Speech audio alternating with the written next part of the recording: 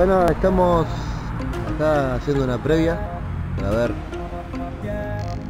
fábrica abandonada hace unos 25 años, 23 años, perdón. Vamos a ver. Fábrica muy grande en Lavallol. Así que bueno. Próximamente estamos mostrando un Urbex en Lavallol.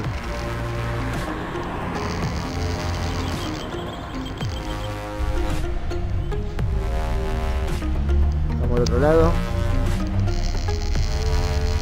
Bien la extensión.